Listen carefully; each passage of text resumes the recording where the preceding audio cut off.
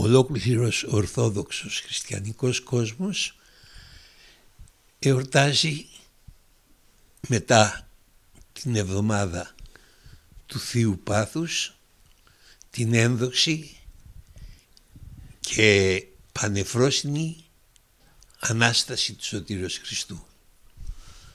Ο Κύριος μας μετά τη σταυρική του θυσία